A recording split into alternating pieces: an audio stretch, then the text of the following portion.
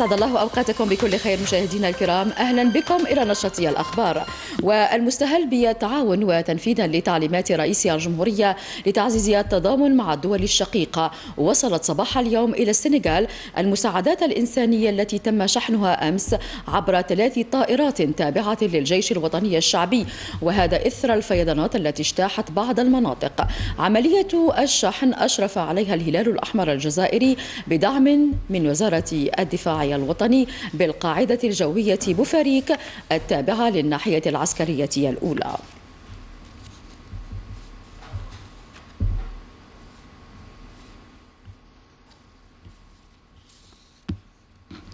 تجسيدا لتوجيهات رئيس الجمهورية وفي إطار تكثيف جهود الرفع من إنتاج الحبوب ولتحقيق معادلة الاكتفاء الذاتي والأمن الغذائي تتجه الجهود إلى إنتاج البذور والتي تتطلب توفير محطات التكييف والمعالجة والتخزين وفق الاستراتيجية المسطرة للبنك الوطني للبذور وهو حال محطة سكيكدا والتي تمون أكثر من 20 ولاية على مستوى الوطن. سعيد بالعز يفصل.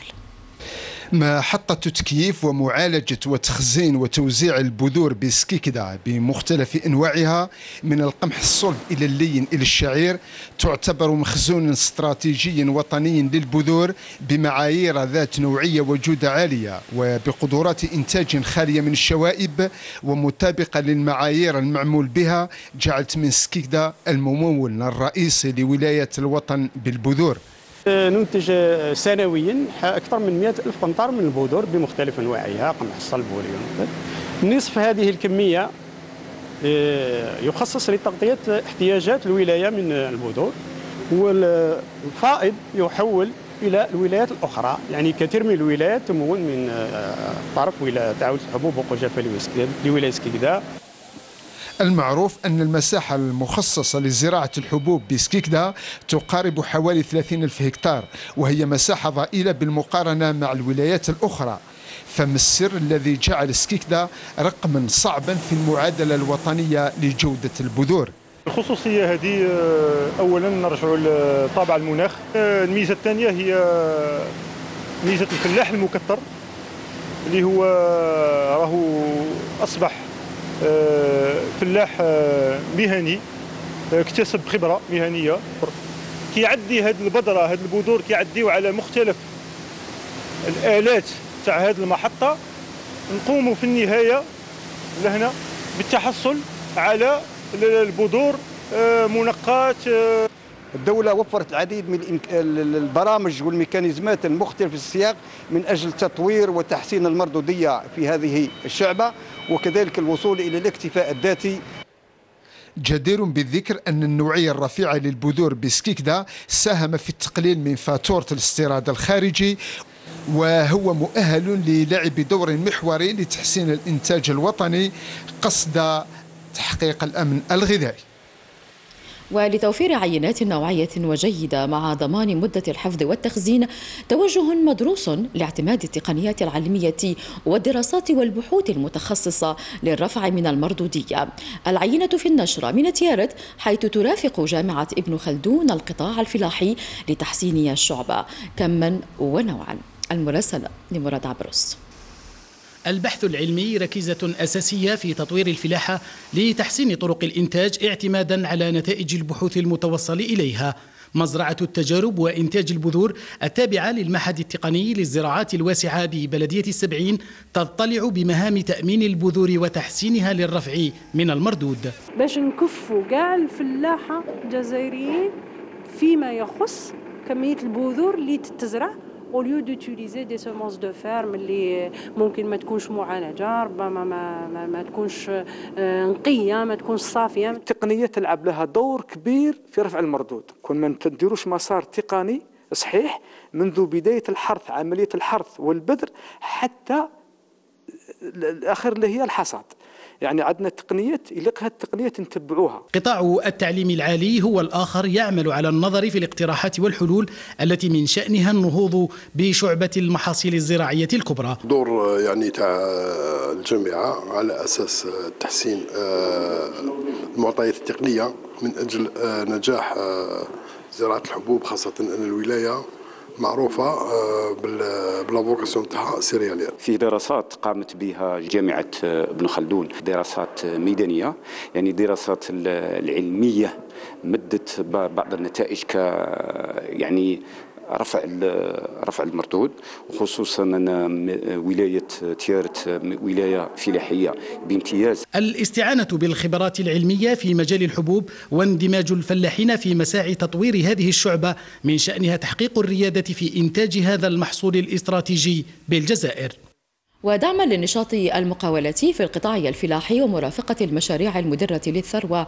من بينهم السيدة شمنت الماما من عين تيموشنت صاحبة مشروع استثماري في مجال تربية الأبقار وإنتاج الحليب.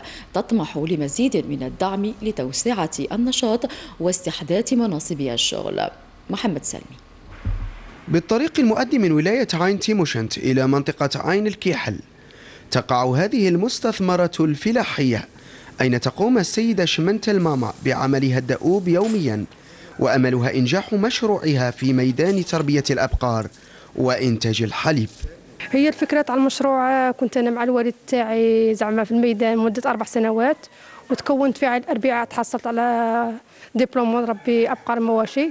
توجهت 2015 ل ANSEJ هنا في تموشنت وكانوا عاونونا وكنا نجحنا في المشروع والحمد لله لحد الآن إحنا نتعاملوا مع مصنع هنا على مستوى عين تيموشنت يخدم الحليب والألبان ولا ولا لي بلوط la crème. زعما ما شاء الله. السيد أشمنتل وإن كانت إرادتها فولاذية إلا أن نجاح مشروعها قائم على تلبية بعض المتطلبات الضرورية. غلاء الأعلاف راه في حالة كارثية. ما حصلناش على أراضي فلاحية. باش يكون نزيدوا في الإنتاج. كما أنا واحدة من الناس كل قايد المساعدة نوصل حتى ل 100 بقره باش نغطي ولايه عندي مش نغطي الولايات المجاورة. بدورها الوكالة الوطنية لدعم وتنميه المقاولات بالولاية.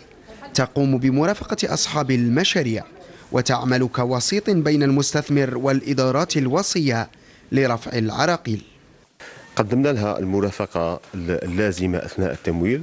وقدمنا لها كذلك اليوم رانا نقدم لها في مرافقة بعدية من خلال الاتصال الذي آه، كانت تحظى به من طرف الوكالة للنظر في المشاكل والعراقيل التي كانت آه، آه، تصادفها سواء من ناحية الإجراءات الإدارية أمام المؤسسات العمومية ذات الصلة.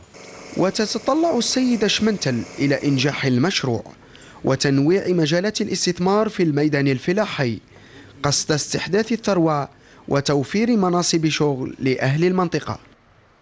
في إطار مكافحة الجريمة تمكنت عناصر المفتشية الرئيسية لفحص المسافرين للجمارك ببجاية من حجز ألف ورقة نقدية مزورة من فئة ألف دينار جزائري قادمة من خارج الوطن إضافة إلى حجز معدات حساسة قامت مصالحنا بإحباط محاولة إدخال أوراق نقدية مزورة من فئة ألف دينار جزائري والمقدرة ب 100 مليون سنتيم وذلك على متن سيارة سياحية قادمة من من ميناء مرسيليا على إثر هذه العملية وبالتنسيق التام مع المصالح الأمنية قمنا بتوقيف المشتبه به وتقديمه آه، أمام المصالح القضائية المختصة. بالإضافة إلى كل هذه الحجوزات آه، قامت مصالحنا أيضا بحجز بعض العتاد آه، الحساس مثل آه، les drones les talkies-walkies les caméras surveillance وإلى غير ذلك. بالإضافة إلى مبلغ من العملة الصعبة الذي يقدر ب 9600 أورو. بهدف تأمين المناطق السياحية الغابية والجبلية بولاية خنشلة تعمل مصالح الأمن المشتركة من الدرك الوطني والشرطة على مداهمة الأماكن المشبوهة ومحاربة الجريمة بمختلف أنواعها. سفيان عجرود يفصل المناطق السياحية كحمام الصالحين والمعروف عنها توافد العائلات من كل أنحاء الوطن والتي تحتاج إلى توفير الأمن وهذا ما تسعى إليه كل الأسلاك الأمنية في الولاية. وذلك من خلال نقاط تفتيش ومراقبة ومداهمة الأماكن المشبوهة من أجل ضمان راحة المواطن. إحنا كرياضيين شفنا هذا البرج هذا عجبنا الحال بزاف. والحمد لله نعمة. وعندنا الطمأنينة أن نجريو وما نخافوش ما نخافوا حتى من حاجة. بالمناسبة زيارتنا لولاية خنشلة ولهذه المنطقة السياحية آه، حمام الصالحين الحمد لله يا ربي. جينا طالعين لقينا نقطة تفتيش مختلف قطاع الأمن. نستحسنوا هذه الفكرة هذه. كي نرقد في خنشلة نرقد مطمئن آمن أو بفضل هذا الناس هذو. على كل حال ربي يعطيهم صحتهم وربي يحميهم وينزل الأمن والأمان على بلادنا الجزائر. أجهزة حديثة تستعمل للكشف عن السيارات المسروقة وتحديد أماكنها مما يسهل العثور عليها ومراقبة كل ما يتعلق بسائق المركبات للتقليل من حوادث المرور. جهاز الكشف عن السيارات المبحوث عنها أكاليس. يسمح هذا الجهاز بمراقبة الطريق للكشف عن السيارات المبحوث عنها. وهو مزود بكاميرا رقمية ترسل تسجيل فيديو إلى جهاز إعلام آلي مثبتة عليه تطبيقية. هذه الأخيرة. تقوم باستخلاص آني للوحات الترقيم التي تتم مقارنتها بقاعدة المعطيات للسيارات المبحوث عنها عبر إقليم الاختصاصي القيام بعملية مداهمات مشتركة للمركبات والأشخاص بالمناطق السياحية والمنتزهات العائلية والمساحات الترفيهية تشمل النقاط السوداء وذلك بتوفير كافة الإمكانيات البشرية والمادية.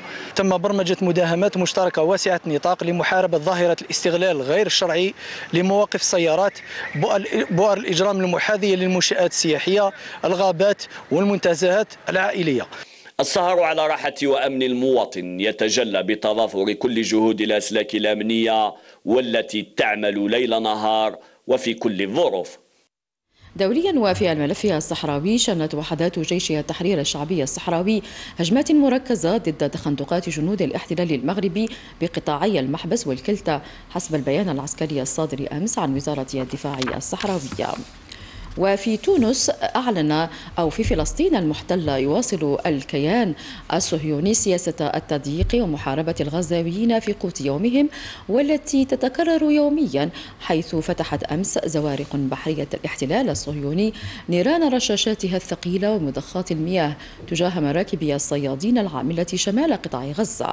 وفي نابلس اقتحم مستوطنون المنطقة الأثرية في بلدة السبطية وأطلقوا قنابل الغاز المسلحة المسيل للدموع والصوت باتجاه المواطنين. في الرياضة العسكرية انطلقت أمس ببوغار بولاية نمدية الناحية العسكرية الأولى المرحلة الأولى من منافسات الألعاب العسكرية الدولية الفصيلة المحمولة جو 22 بسباق العربات القتالية فردي ونتابع المزيد مع أحمد سويلح.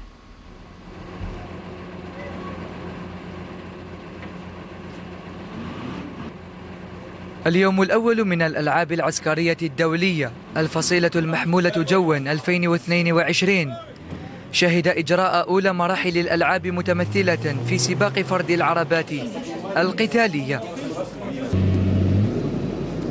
المرحلة عرفت مشاركة خمس دول على غرار الجزائر والصين وبيلاروسيا وأوزباكستان وفنزويلا. أي نتنافس على طول المضمار الذي بلغ 3220 متر مقسم إلى عدة حواجز الممهل وممر الجسر والمرتفع والمخاضة وممر حقل الألغام.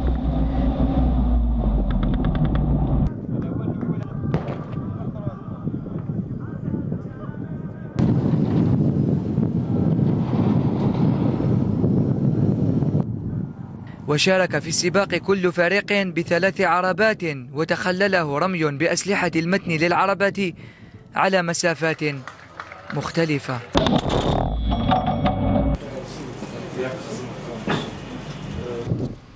الآن إلى ألعاب التضامن الإسلامية التي تحتضنها قونيا التركية 2021 حيث أضافت الجزائر أمس ثلاث ميداليات جديدة فضيتين وبرونزية.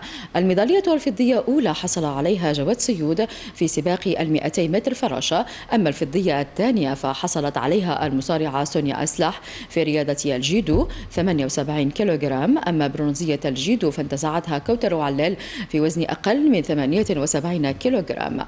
ليرتفع رصيد الجزائر الجزائر إلى 25 ميدالية سبع ذهبيات تسع فضيات ومثلها من البرونز لتحتل الجزائر المركز التاسع في جدول الترتيب العام للميداليات إذا مشاهدينا الكرام نصل إلى ختام النشرة. شكرا لكم على كرمية المتابعة وأسعد بخدمتكم في نشرة واحدة إلى اللقاء.